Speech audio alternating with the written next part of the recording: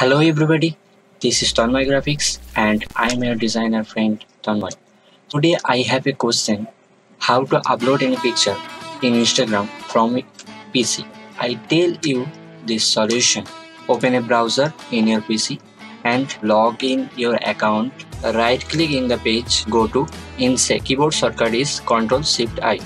A HTML panel is open. Click toggle device toolbar icon. Press from keyboard Ctrl R.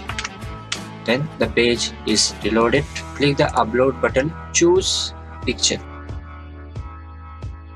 This is the description box. So already I written a description. Then click share. You can see your post is ready in Instagram.